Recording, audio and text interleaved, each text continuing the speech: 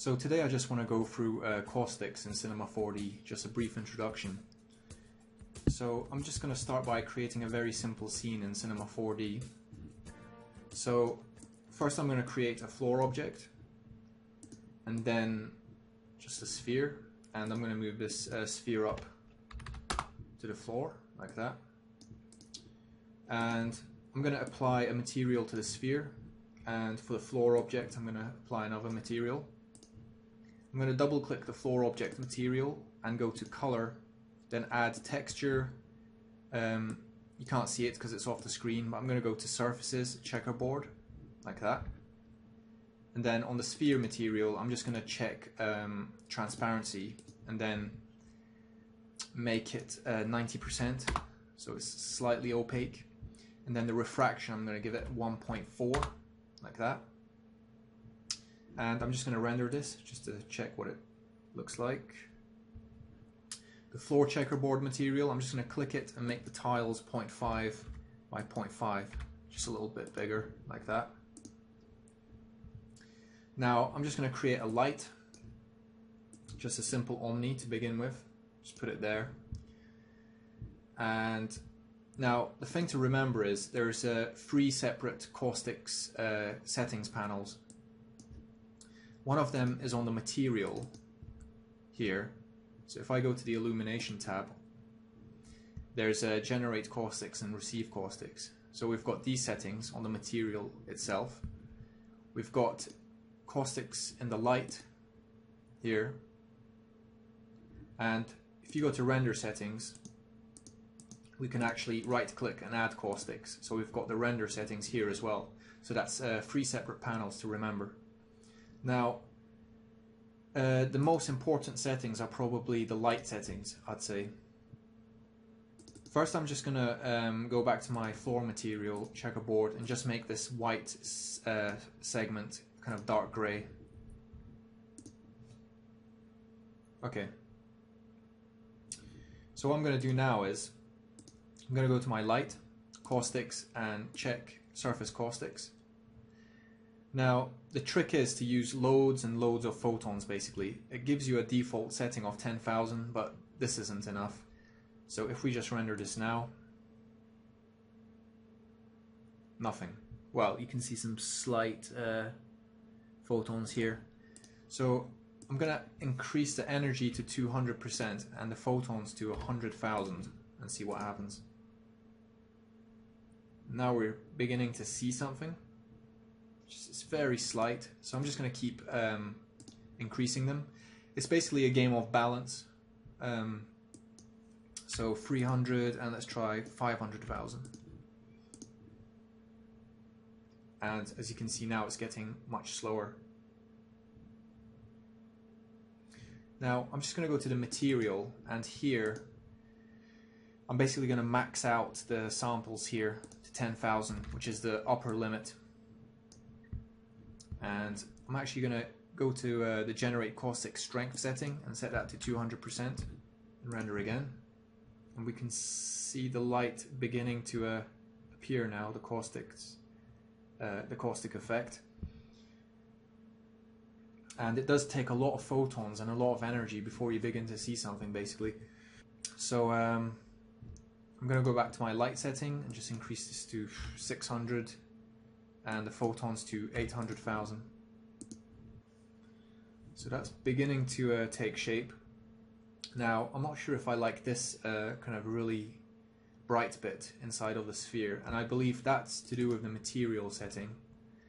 So I'm actually going to reduce this down to 100%, reduce the radius down to 5 centimeters, and then I'm going to go to my render settings, and I'm going to adjust the kind of increase the strength here to 500%.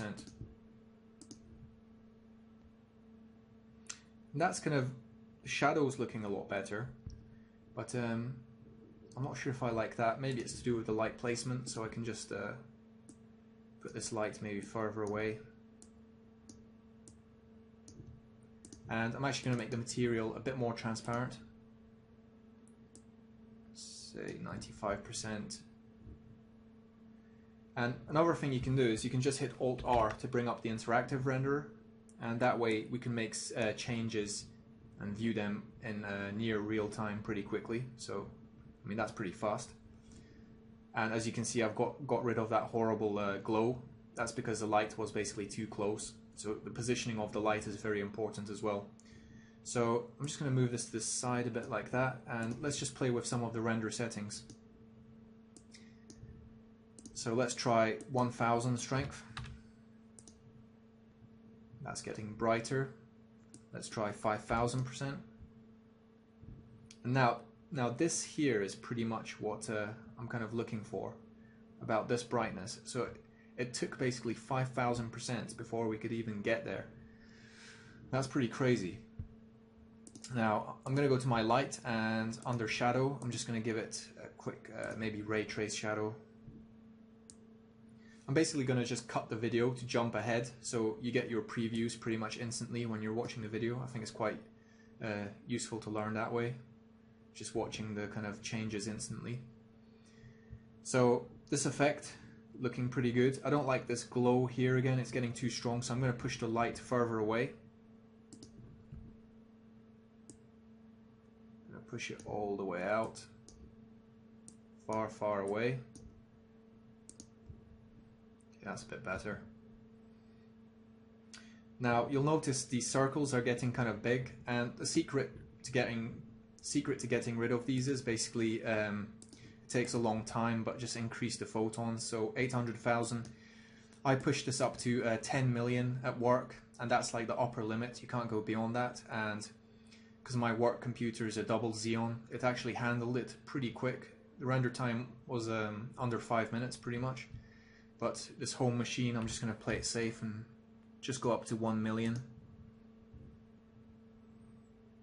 Okay, hasn't made a huge difference, so I'm just going to keep bumping up the energy and the number of photons, and let's see where we can get to.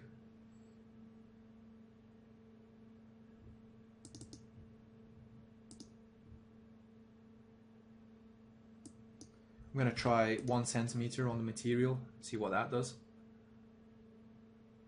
Ah, and this is a good demonstration of what the caustic setting, settings in the material do.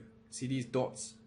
That's basically the material caustics. This is the light caustics here, and this is the material caustics. So it's good to kind of understand the separation between these two. So right now I put the radius to 1 and we can see these circles kind of get much smaller. And if I bump it to 0.1, now they're very, very kind of small points of light, which doesn't look very realistic. So I think uh, maybe 3 could be a good setting. Let's have a look. Yeah, now it's kind of looking more like a band. So I'm just going to try 5. Let's see what happens with 5. And now it's kind of nicer, more kind of blurred. So yeah, and for some reason the upper limit here is 10,000. I don't know why, but it's just uh, that way. And if I just reduce the strength of the material caustics, let's see what happens. Oh, it's actually affected here as well. That's very strange. But um, give it maybe 88. Yeah, so basically you should probably just leave this here at 100. And um, I'm going to go back to the light settings. And actually my render settings, all I can really play with here is the strength, so I might just drop this down to 1000 in the render settings. Uh, set recompute to always, just to make sure that it's always recalculating. Yeah, see that gives a much more uh, different result. So just make sure that's uh, recompute set to always, otherwise it's like using the cache or something, I don't know. So back to the light settings, I'm just going to play with these two here. We're at 1,900 energy. I'm going to bump this energy up to uh, 1200. Hardly any difference. Uh, photons, let's bump that up to 10 million. We're going to take a chance. Now that's a calculation with uh, 10 million photons and as you can see it's very smooth, very cool. All I need to do now is just bump up to a, uh, just bump up the energy a bit more. 2200 and that's a bit brighter so I'm actually going to go back to my render settings and just bump it up here to uh, say 5000 you really need to go up to some real high values before you can see anything And finally, there we go. So I basically got energy 2200 with 10 million photons on the light before I could reach uh, an effect I'm pretty much looking for, which is this.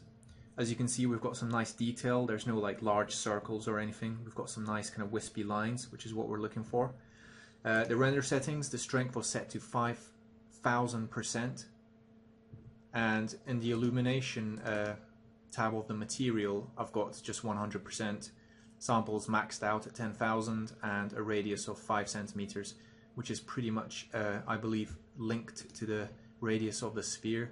So you're looking for like a 20%, um, sorry, 120th value for the radius here,